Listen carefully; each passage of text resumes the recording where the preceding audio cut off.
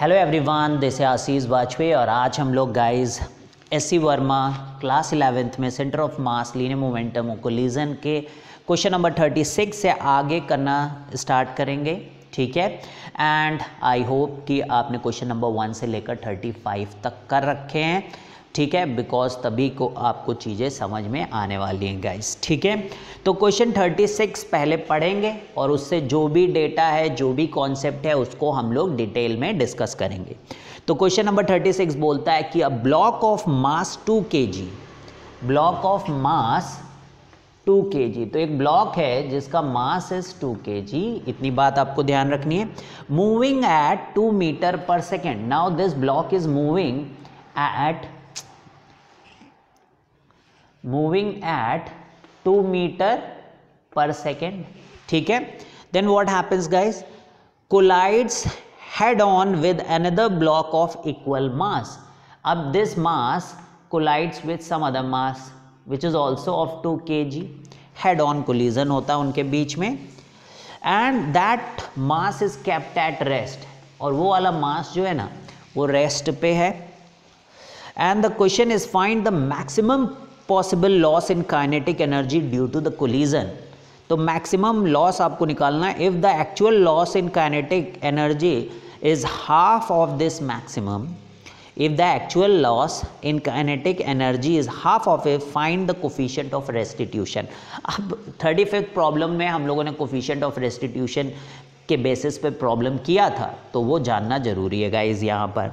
तो चलिए एक एक पार्ट करते because there are two parts तो will be starting the part A जो कि कह रहा है कि maximum possible loss kinetic energy का आपको पता करना है। अब देखो, कब, सोचो, कब होगा maximum possible loss in kinetic energy that is important अब, दो तरीके के कोलिजन्स होते गाइस एक होता है परफेक्टली इलास्टिक कोलिजन ठीक है परफेक्टली इलास्टिक कोलिजन उसमें momentum as well as kinetic energy is conserve मतलब वो इस तरीके का कोलिजन है कि उसमें कोई भी एनर्जी का लॉस नहीं होता मैकेनिकल एनर्जी का लॉस इज़ नॉट देयर ठीक है? तो उसमें मैक्सिमम एनर्जी मिलती है बॉडीज़ को after the collision maximum kinetic energy उनके पास होती है। लेकिन what happens in the case of inelastic collision कि बहुत सारी हीट एनर्जी का लॉस होता है ड्यूरिंग कोलिजन और बॉडी चिपक जाती है एक दूसरे से, वहाँ पर मैक्सिमम जो है लॉस है काइनेटिक एनर्जी का। मतलब कि सेकेंड पार्ट में वो एक तरीके से आपसे कह रहे हैं कि बॉडीज चिपक जब जाए एक साथ तो बताइए कि मैक्सिमम काइनेटिक एनर्जी का कितना लॉस हुआ है। ठीक है? ये बात है। कोलिजन देखिए कि कोलिजन के अंदर क्योंकि कोई बाहरी फोर्स नहीं लग रही है इसलिए हमेशा ही मोमेंटम तो कंजर्व होगा। तो चलिए देखते guys what will happen now तो अब इनिशियल मास मान लीजिए एम है ये, मैंने लिया ही। तो एम यू था इसका इनिशियल मोमेंटम ठीक है? एम इंटू यू अब क्या हुआ, ये दोनों मासेस जो है बिकॉज़ हम लोग तो कंसीडर क्या कर रहे हैं? कौन सा केस कंसीडर कर रहे हैं जब दोनों चिपक गए? ये पार्टे कर रहे हैं हम लोग। तो दोनों मास जम गए एक दूसरे से, बिल्कुल फेविकोल लगा के चिपक गए हैं। अब इनकी जो वेलोसिटी आएगी, वो हम मान लेते कि वो वी है।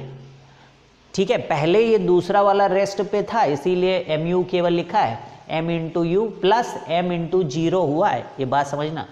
फाइनली दोनों ही चल रहे हैं एक साथ तो two m into v so from here I can find out m से एम कैंसिल तो v जो निकल के आया है, वो u बाई टू है। ठीक है? तो यानी कि जो velocity two metre per second थी, वो अब वन मीटर पर सेकेंड रह गई है। ठीक है भाई, बात इतनी समझ में आती है आपको। अब काइनेटिक एनर्जी का लॉस यानी कि जितनी इनिशियल थी, उसमें से कितने फाइनली कितनी बची उसको सब ट्रैक कर दो you will be getting it तो इनिशियल कितनी काइनेटिक एनर्जी थी? हाफ़ एम और यू वेलोसिटी थी तो half m u square minus half अब देखो दो ब्लॉक चिपक चुके हैं तो उनका मास क्या है? टू एम और उनकी जो वेलोसिटी है, वो वी है तो ये है. तो and now this is what half m u square minus m ये दो कैंसिल हो गए, और v is u by two so that is half m u square by four हो गया है। तो अब two m u square by four और ये पूरा आपका आ रहा है m u square by four ये आ गया, ठीक है? ये मैक्सिमम काइनेटिक एनर्जी का लॉस है। This is what is maximum kinetic energy का लॉस इतनी बात तो समझ में आई गई होगी। अब इसकी वैल्यू निकाल लेते हैं हम लोग। M is how much m is two K G and u was two तो फोर अपॉन फोर यानी कि टू जूल ठीक है? तो ए पार्ट जो है दैट इज़ ए पार्ट में जो डेल्टा के ई आया max loss max loss kinetic energy का maximum loss is two joule ये इंपॉर्टेंट है। तो ये पहला पार्ट हम लोगों ने किया है, ठीक है? Let me rub this now ठीक है? बाकी की बातें तो आपको क्लियर हो ही गई है डेटा वेटा आपने लिख ही लिया होगा। अब मैं इसको रब कर देता हूँ सेकेंड पार्ट करने के लिए, ठीक है? आई थिंक आपने लिख लिया है टू जूल कैसे आया? ठीक है? तो चलो भाई नेक्स्ट पार्ट की तरफ़ अब हम लोग बढ़ते हैं। तो नेक्स्ट पार्ट में क्या कह रहे हैं, समझिएगा बात को? थर्टी सिक्स प्रॉब्लम का नेक्स्ट पार्ट है कि if the actual loss in kinetic energy is half of this maximum तो अभी कितना लॉस हुआ था? M u square by four का लॉस हुआ था। अब मान लो इसका हाफ़ है, जो लॉस हुआ है काइनेटिक एनर्जी का that is half of this यानी कि अगर लॉस हुआ है m u square by eight का अगर लॉस हुआ है ठीक है तो काइनेटिक एनर्जी लॉस अगर हुआ है m u square by eight तब हमें कोफिशियंट ऑफ़ रेस्टिट्यूशन पता करना है। तो कोफिशियंट ऑफ़ रेस्टिट्यूशन आपको पता होना चाहिए कि that is e is equal to v separation upon v approach ठीक है, ये बात आपको पता होनी चाहिए। ये निकालेंगे हम लोग। लेकिन अब हम यहाँ पे बात को समझते हैं। कि इस सिनेरियो में क्या होगा? क्योंकि लॉस मैक्सिमम नहीं है तो इसलिए इलास्टिक यानी परफेक्टली इलास्टिक और परफेक्टली इन इलास्टिक दोनों के बीच का कोलिजन है, ठीक है?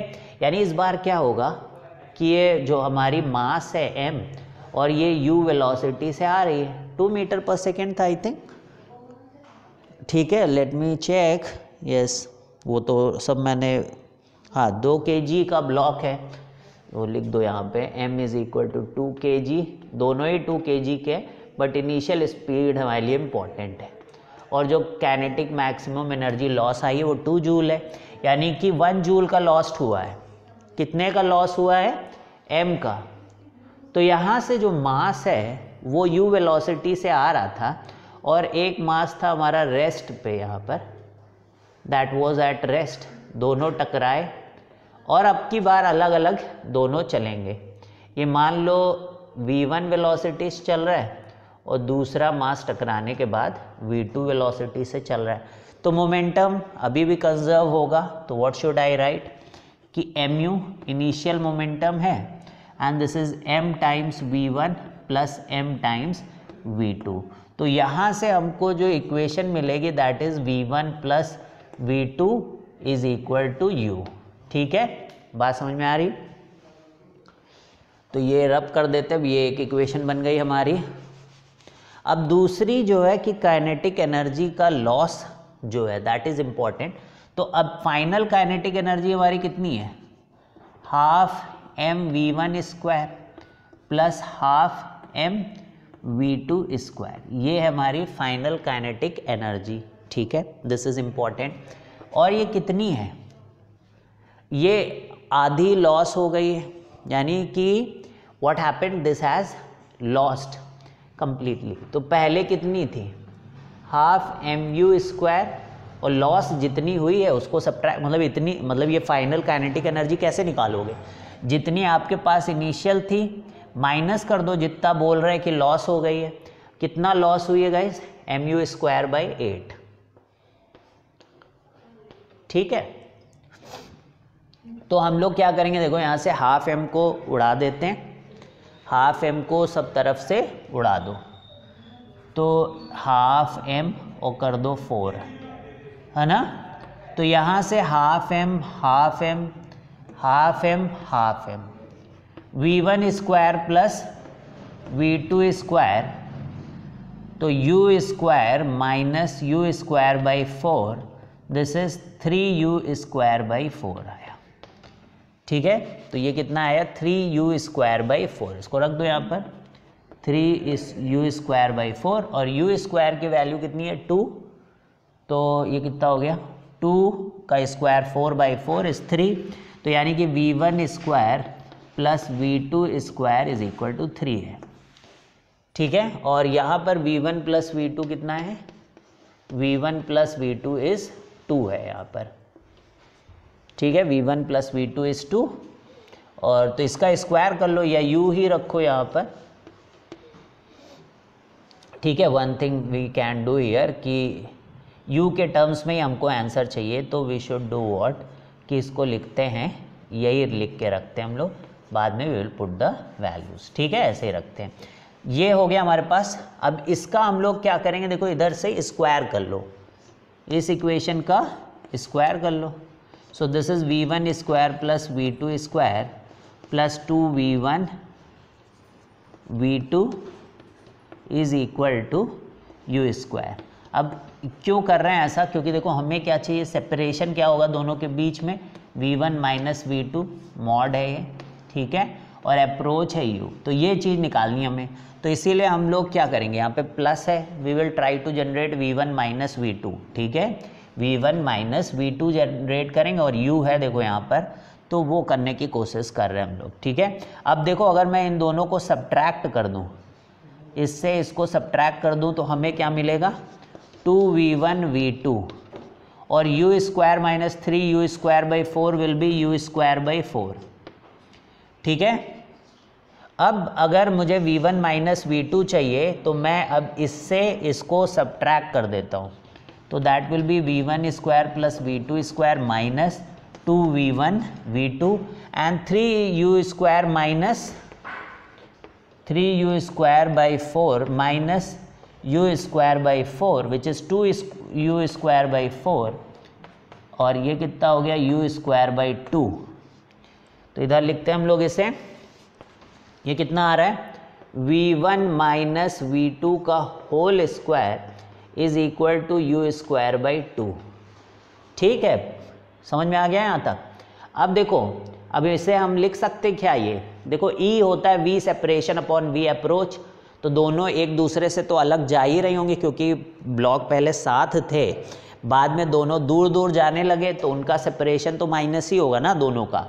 और अप्रोच कैसे यू है? क्योंकि ये वाला तो रेस्ट में था और ये इसकी तरफ़ आ रहा था यू वेलोसिटी से तो ये वेलोसिटी ऑफ़ अप्रोच हो गया। बिल्कुल सिंपल ये बात मैंने समझाई है लास्ट वीडियो के लास्ट प्रॉब्लम में, ठीक है? That is thirty fifth problem तो v one minus v two upon u ठीक है? नीचे कर दो, इसका पूरे का square and this is I can write one by root two का होल स्क्वायर तो यानी कि, अब ये रब कर देता हूँ मैं। लिख लो आप ये सारा, ठीक है?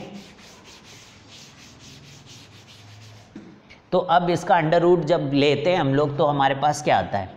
V1 one minus v two upon u is equal to one by root two which is ई यही तो ई e है। तो कुछ भी नहीं था सिंपल था काइनेटिक एनर्जी का कॉन्सेप्ट यूज़ किया। थोड़ा सा मैथ्स लगाया, क्योंकि हमारे पास v1 one plus v two था तो v1 one minus v two का होल स्क्वायर बनाया। उसके लिए हमें two times v one v two चाहिए। ठीक है? तो ये काम हम लोगों ने यहाँ पे किया। तो इसी के साथ ही क्वेश्चन नंबर 36 हो जाता है। अब चलिए बढ़ते हैं हम लोग क्वेश्चन नंबर 37 में। ठीक है तो चलिए बढ़ते गए इस क्वेश्चन नंबर 37 की तरफ़। तो थोड़ा सा बड़ा है क्वेश्चन नंबर 38 तो अब हम इसको नेक्स्ट लेक्चर में लेंगे यानी कि 38, 39 और 40 को एक साथ कर लेंगे। Because this is going to take lot of time this question 38 so I want to give it full attention और स्टार्टिंग के वीडियो में रहेगा तो ज़्यादा बच्चे देखें क्योंकि बहुत बच्चों को इतना पेशेंस नहीं है कि वो सारे प्रॉब्लम सीख सके ठीक है? तो कुछ आ जाएगा उनको तो that's why it's better I will keep it at the first place ठीक है? तो चलिए बढ़ते guys question number thirty seven a particle of mass hundred gram hundred gram मतलब hundred divided by thousand which is point one k g ठीक है? तो एक पार्टिकल है जिसका मास है point one k g moving at an initial speed u u है उसका initial speed it collides with another particle of mass same mass okay m ही है वो.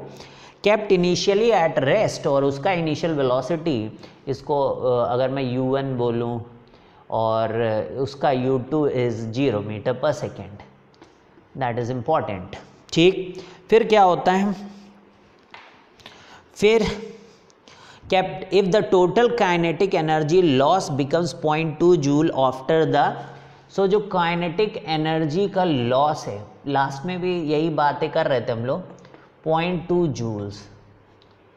ठीक है? तो जो टोटल काइनेटिक एनर्जी का लॉस अगर पॉइंट टू जूल है, ठीक है after the collision what could be the minimum and the maximum value of u तो ये जो यू वेलोसिटी है ना, ठीक है, जिससे वो इनिशियल वेलोसिटी से कोलाइड कर रहा था, जो दूसरा रेस्ट पे था तो उसकी मिनिमम और मैक्सिमम वेलोसिटी पता करनी है। मिनिमम और मैक्सिमम वेलोसिटी आपको पता करनी है। ठीक है, बहुत बढ़िया बात। अब देखो काइनेटिक एनर्जी का जो लॉस है guys this is what I think they are asking फिर से एक बार पढ़ लेते हैं। तो particle of mass point one k g moving at initial velocity u collides another particle of same mass kept in if the total kinetic energy becomes, देखो loss नहीं, ये टोटल काइनेटिक एनर्जी है।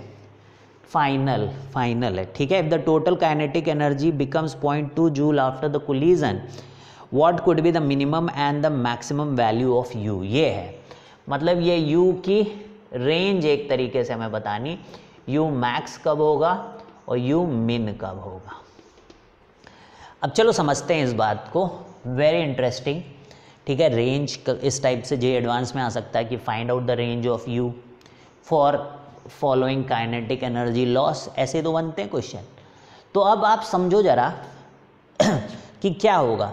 एक सिचुएशन देखो, ऐसा रहेगा जहाँ पे एनर्जी का कोई लॉस ही नहीं होगा. There will be one situation where they will be no loss of energy उसको क्या बोलते गाइज़ हम लोग? परफेक्टली इलास्टिक कोलिजन ठीक है? तो वैसे केस में, यानी जिस समय परफेक्टली इलास्टिक कोलिजन होगा, उस समय एनर्जी का लॉस नहीं हुआ। तो जो इनिशियल काइनेटिक एनर्जी रही, वो ये फाइनल काइनेटिक एनर्जी, कुछ भी लॉस नहीं हुआ। तो उस समय मिनिमम वेलोसिटी आपको चाहिए होगी ये फाइनल काइनेटिक एनर्जी को फाइंड आउट करने के लिए। This is very important concept maximum नहीं चाहिए। क्योंकि कुछ लॉस नहीं है तो पॉइंट टू आप मिनिमम से ही बना सकते हो। लेकिन अगर आप चाहते हो कि पॉइंट टू हो तो आपको अगर लॉस हो रहा है, बहुत ज़्यादा लॉस हो रहा है गाइस तो आपको ज़्यादा काइनेटिक एनर्जी के साथ चलना पड़ेगा, क्योंकि कुछ आपको पता है कि मैक्सिमम लॉस हो जाएगा। तो फिर आप यहीं पे पहुँचते हो। तो क्या बात समझ में आई? तो यानी आपको लिखना होगा to get u minimum you need to have perfectly elastic collision as there is no kinetic energy का लॉस तो what happens in case of a perfectly elastic collision? कि एक मास जो m मास का है, ठीक है, वो u वेलोसिटी से अगर आता है, जब ये रेस्ट पे दूसरा, बिल्कुल एग्जैक्टली उसी तरीके का मास है, ये रेस्ट पे रखा हुआ तो जब ये इसको हिट करता है ना तो ये वाला तो रुक जाता है, जो वहाँ से आ रहा था, और जो पहले यहाँ था, वो u से मूव करने, तभी तो काइनेटिक एनर्जी और मोमेंटम दोनों कंजर्व रहेंगे। इसी सिनेरियो में ऐसा हो सकता है कि ये आया और यहाँ रखा है, खट से लड़ा इसमें। ये तो रुक गया और दूसरा वाला चलने लगा। डिड यू अंडरस्टैंड दिस तो मोमेंटम कंजर्व है because m into u और फिर जाने वाला भी एम इन टू यू इसकी kinetic energy half m u square बाद में भी हाफ़ एम यू स्क्वायर तो बहुत ही आसानी के साथ आप पता कर सकते हो कि u मिनिमम क्या होगा।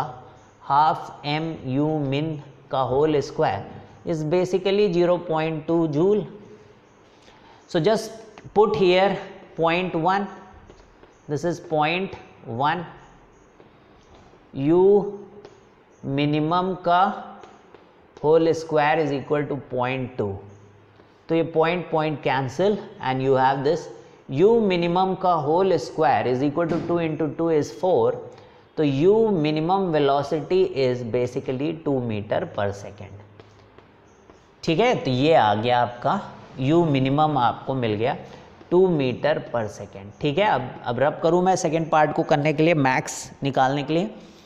मैक्स में क्या होगा कि मैक्सिमम काइनेटिक एनर्जी लॉस होगा। And for that what you need is इसको रब करो। है ना मतलब इसको मैं रब कर रहा हूँ और आपको क्या करना है? What you need to do अच्छे से समझना है और क्या करना है? अब देखो क्या होगा। आप बहुत ज़्यादा वेलोसिटी के साथ चलोगे, क्योंकि परफेक्टली इन इलास्टिक कोलिजन होगा। अभी तो किया था लास्ट क्वेश्चन में कि परफेक्टली इन इलास्टिक कोलिजन में व्हाट हैपेंस कि दोनों बॉल चिपक जाएँगे। ठीक है? यानी कि फेविकोल का मज़बूत जोड़ लगेगा उनके बीच में। और फिर ये दोनों साथ साथ चलेंगे। समझना गाइज़ तो ये एम था और एक और एम ऐसे चिपक गया। और वो किसी वी वेलोसिटी से चलेगा। यानी कि I I need to put this you need to know the perspective now कि half into two m into v square will be point two joule है ना? ये होना चाहिए। तो ये मास तो पता है, पर वी अगर पता चल जाए तो काम बन जाएगा। तो v कैसे पता चलेगा? मोमेंटम कंजर्वेशन से m into u m into u which will be max this time m max is equal to two m into two m into v ठीक है? तो m u max is equal to two m into v तो m m cancel कर लो। तो I can write कि u is going to be basically two v तो यानी v की जगह I can write u m नाम लिख देते हैं। इसको इतना बड़ा कौन लिखेगा? यू एम बाई टू तो यहीं पे डायरेक्ट रखते हैं हम लोग यू एम बाई टू को। तो half two m into u max का whole square divided by four is equal to point two joules ठीक है? क्लियर है? ये टू टू कैंसिल हो गया है। M u m square is equal to basically point eight ठीक है भाई? और ये कितना है? Mass is point one put this point one here now you will get eight तो u m square is equal to eight तो u m is nothing but eight का अंडर रूट जो कि टू रूट टू होता है। ठीक है? तो two root two metre per second will be the max velocity तो अगर मान लो हमसे पूरा रेंज पूछते तो परफेक्टली इलास्टिक इन इलास्टिक के बीच में कुछ भी हो सकता है तो दो से दो root two metre per second ठीक है? तो अब नेक्स्ट वीडियो लेक्चर में don't forget guys thirty eight problem is the best problem that we have चलिए गाइस मिलते हैं नेक्स्ट लेक्चर में बाय बाय